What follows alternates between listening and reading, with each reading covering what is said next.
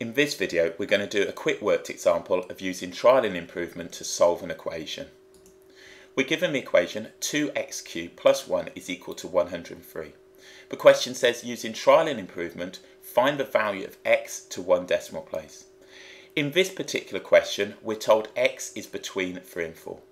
We won't always be given this information so sometimes we're going to need to find a starting point. In order to answer this question I'm just going to draw up a little table.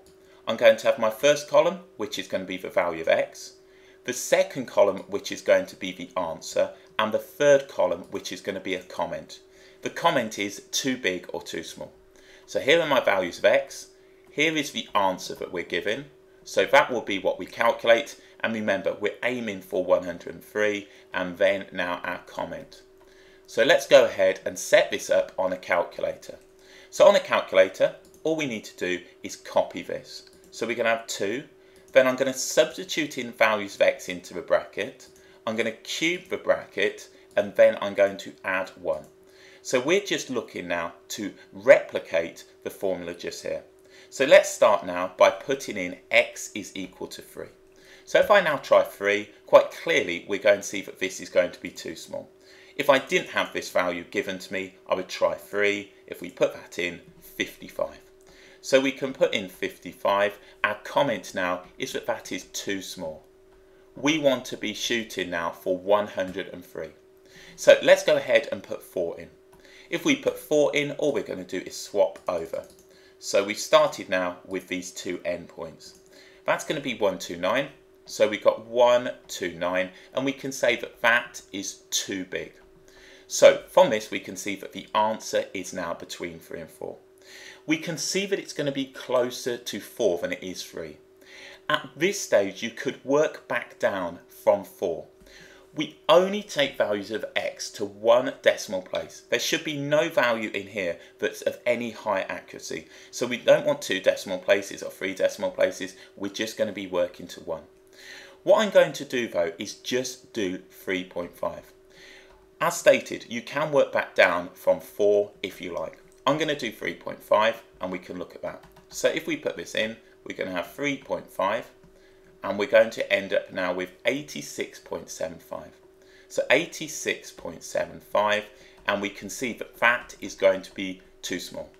So at this stage we can make now the comment that this is somewhere between 3.5 and 4.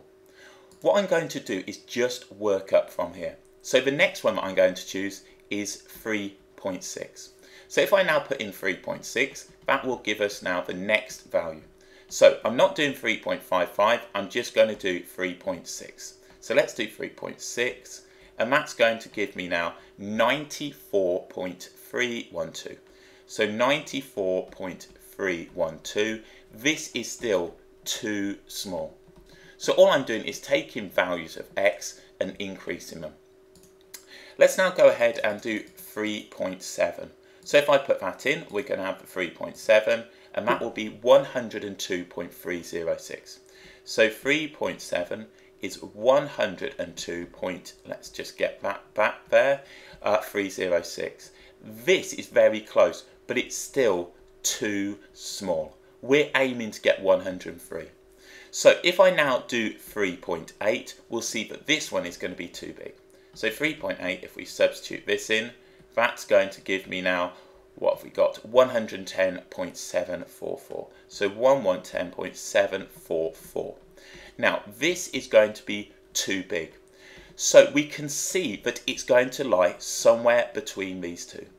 When you're doing trial and improvement, you must show, in general, five values of working in here. That's the general idea. So what we know is that it's going to be somewhere between 3.7 and 3.8. We only need to give this to one decimal place. So one decimal place, we don't need to do it to 3.75, 3.76, it's one decimal place. The way I like to think about this now is that we have these two endpoints. Often you can see which one it is. Alternatively, what we can do is test the middle of the two. So what we've got here is the 3.7. Now this is going to be too small. The 3.7 is too small. the 3.8 is too big. And clearly, if you look at this, we can see that it's going to be 3.7. Alternatively, we can just now try the midpoint.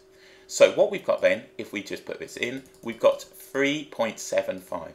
So we can see 3.75 goes in and we end up now with 106 point, uh, 106.46, let's write this in. So I've tried now the midpoint of the two. So we get 106 point, and just jotting this down, uh, 46875. So 46875, and we can say that's too big. If we look at this now, this one is going to be too small. This one is going to be too big. And still, when we try the midpoint right here, this is too big. Therefore, everything in this particular bracket here will round to 3.7 to one decimal place. Anything in here now would round to 3.8. So what we can say then is that this is going to be 3.7 and that's to 1 dp. So to one decimal place. So all I've done is tested the midpoint. You can visually see that it's going to be closer to 3.7, but testing the midpoint finishes the question off. If this had been too small, we would have rounded up to 3.8. So that's a quick example of using trial and improvement to find the value of x to one decimal place. All of these values in here are to one decimal place. Then we test the midpoint to show that it will round to 3.7 to one decimal place. This answer will always be now to one decimal place.